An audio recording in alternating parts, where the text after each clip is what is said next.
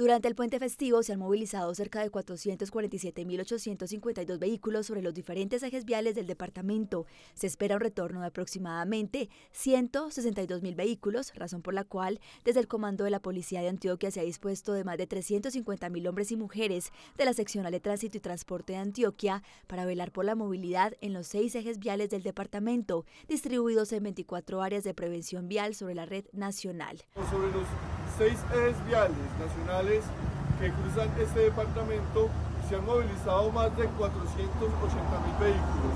Esperamos que a finalizar el día de hoy haya un total de 580 mil vehículos movilizados. En este orden de ideas tenemos también una reducción de la siniestralidad en un 17% menos a comparación de lo presentado por el inmediatamente anterior.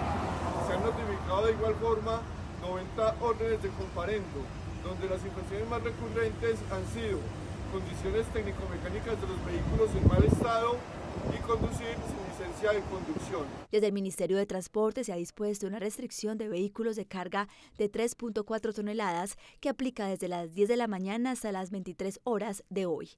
También se ha coordinado con la concesión vial del túnel de Oriente un reversible entre las 5 de la tarde y las 8 de la noche en un solo sentido Río Negro-Medellín. Además, se han realizado 90 órdenes de comparendo por diferentes infracciones y se ha puesto énfasis en la prevención de accidentes con 148 pruebas de embriaguez, todas con resultados negativos.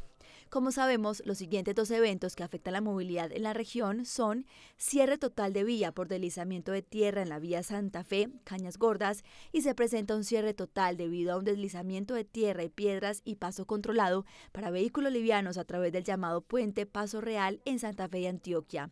En este momento presentamos situaciones especiales que afectan la movilidad, especialmente en el corredor vial que conduce de Medellín a Urabá donde en el sector de Santa Fe tenemos pasos restringidos para vehículos livianos y en Peñas Gordas se presenta un derrumbe, para afectar totalmente la movilidad.